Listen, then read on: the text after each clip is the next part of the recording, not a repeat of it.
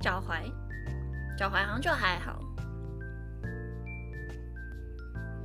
对呀，我现在讲讲其他其他周遭朋友或实况组的事情，我都要想一下，说，嗯，这是他公开的事情吗？他有公开吧？然后确定了才敢讲。很怕不小心，就是他他其实是贴在他的那个私密线动或者是挚友线动，然后 不小心不小心失言。对啊，危险危险。